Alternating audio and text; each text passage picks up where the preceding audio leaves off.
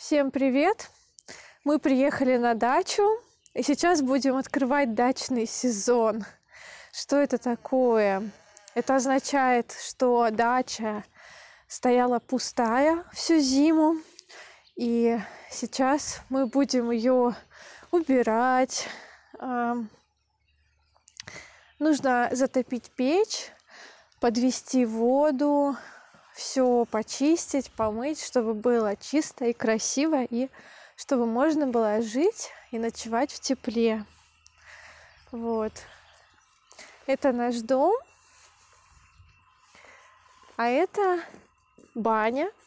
Сейчас я покажу, как дача выглядит внутри. Во-первых, чтобы вы не пугались, сразу предупрежу, что мы э, привозим сюда много бумаги, много мусора для сжигания, поэтому кухня сейчас превратилась в такое э, в такое место для сбора бумаги, картона, бумажных упаковок. Ой, как здорово вышло солнце.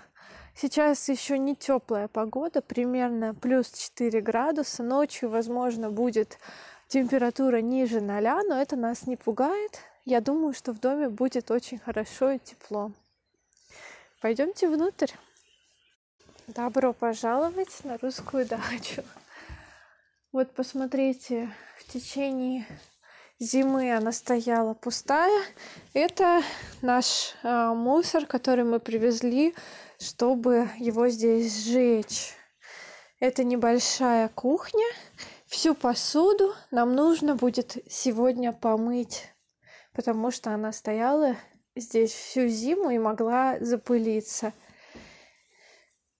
Это посудомоечная машина. Там находится туалет и душ.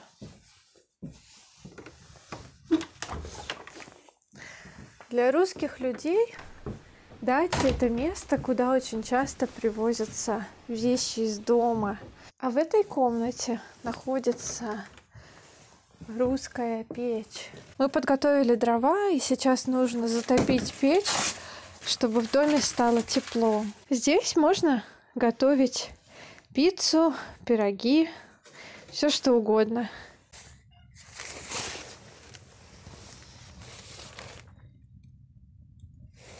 Нужно подождать примерно 3 часа, чтобы дом полностью протопился, то есть стал теплым. Мы взяли с собой Семика, и он уже спрятался на печке. Я сейчас попробую его показать. Семочка, у-у-у, ты что там прячешься? Сема. Да. Семочка. Сема спрятался на печке. Нам сегодня нужно будет навести порядок в доме, подготовить чистое постельное белье, пропылесосить ковры и сделать так, чтобы в доме было приятно жить.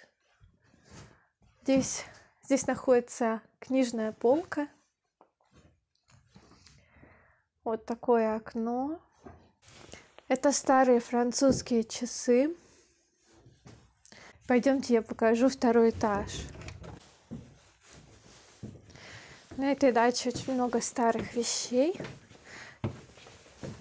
антикварных. Вот здесь второй этаж.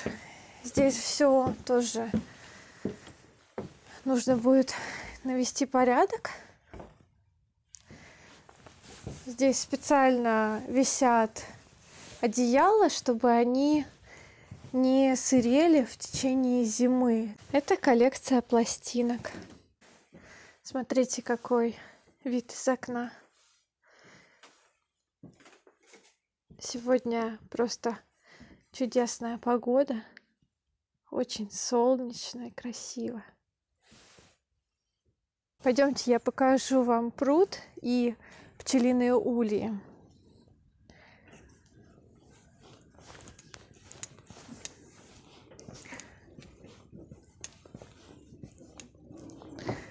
Здесь летает много маленьких птиц. Вот наш огород. Сейчас, конечно же, здесь ничего не растет, кроме этих яблонь и груш. Вот, и скоро мы начнем сажать картошку, разные овощи. И к сентябрю будет урожай. Смотрите, я иду, и птицы взлетают с деревьев. Вот это красивое дерево называется кедр. Сейчас я иду на пруд и как раз покажу наши пчелиные домики. А, птица взлетела. Вот, это маленькие пчелиные домики. Здесь живет несколько семей пчел. Земля еще немного влажная, потому что только вчера шел снег, поэтому земля еще как следует не просохла. Вот это такой небольшой пруд.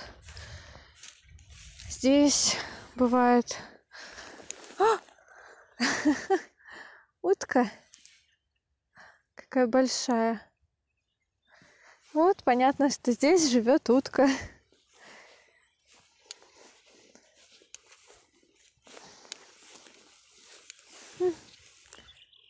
Вот она полетела. Семик очень любит гулять вокруг пруда, смотреть на стрекоз.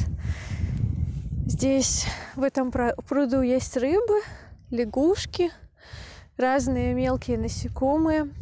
Ну что, пойдемте подготавливать дом.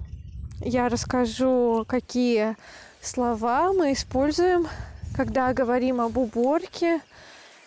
Я думаю, что, возможно, вам это пригодится.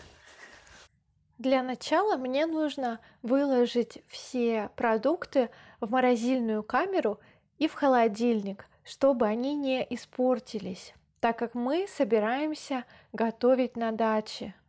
Замороженные продукты я кладу в морозильную камеру, а остальные в холодильник.